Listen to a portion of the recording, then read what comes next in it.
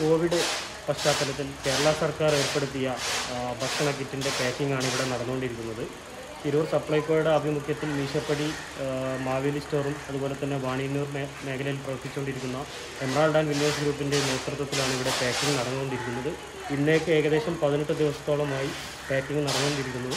ഏകദേശം ഏഴായിരത്തി അഞ്ഞൂറ് കുടുംബങ്ങൾക്കുള്ള കിറ്റാണ് ഇവിടെ പാക്കിംഗ് നടന്നുകൊണ്ടിരിക്കുന്നത്.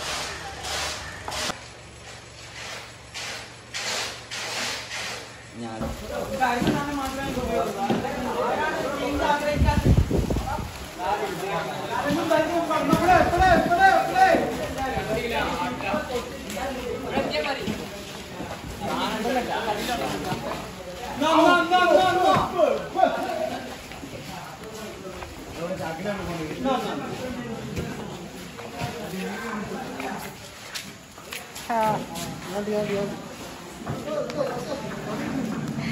കൊറോണ ബോധവൽക്കരണത്തിന്റെ ഭാഗമായിട്ട് നമ്മൾ എന്ത് ചെയ്ത് കൊറോണയുടെ ഇതിനെ സംബന്ധിച്ച് നമ്മൾ പോസ്റ്ററുകൾ ഇറക്കി അതുപോലെ ഹാൻഡ് വാഷ് അതായത് ആളുകളൊക്കെ വന്നുകൊണ്ടിരിക്കുന്ന മീശപ്പടി ടൗണിൽ ബസ് സ്റ്റോപ്പിൽ ഹാൻഡ് വാഷ് സൗകര്യം ഏർപ്പെടുത്തി അതുപോലെ തന്നെ റേഷൻ കടകളിൽ റേഷൻ കടകളിലും ഹാൻഡ് വാഷ് സൗകര്യം ഹാൻഡ് സാനിറ്റൈസറും അവൈലബിൾ ആക്കി കൊടുത്തു. പിന്നെ അതുപോലെ എന്ത് ചെയ്തു നമ്മൾ റേഷൻ കടകളിലേക്ക് കിറ്റുകൾ എത്തിച്ചു. മീൻസ് റേഷൻ കടകളിൽ നിന്നും വീടുകളിലേക്കുള്ള കിറ്റുകൾ നമ്മൾ എത്തിച്ചു കൊടുത്ത് പിന്നെ കമ്മ്യൂണിറ്റി കിച്ചൺ ഇവിടെയുള്ള നാട്ടിലുള്ള അതിഥി തൊഴിലാളികൾക്ക് ഭക്ഷണ സാധനങ്ങൾ എത്തിച്ചു കൊടുത്ത് ആ പിന്നെ റംസാന്റെ മുന്നോടിയായിട്ട് വീടുകൾക്കുള്ള കിറ്റുകളും മറ്റും നമ്മൾ എത്തിച്ചു കൊടുത്തിട്ടുണ്ട്.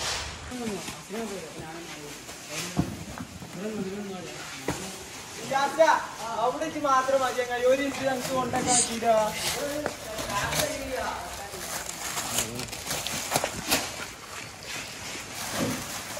അജ്മൽ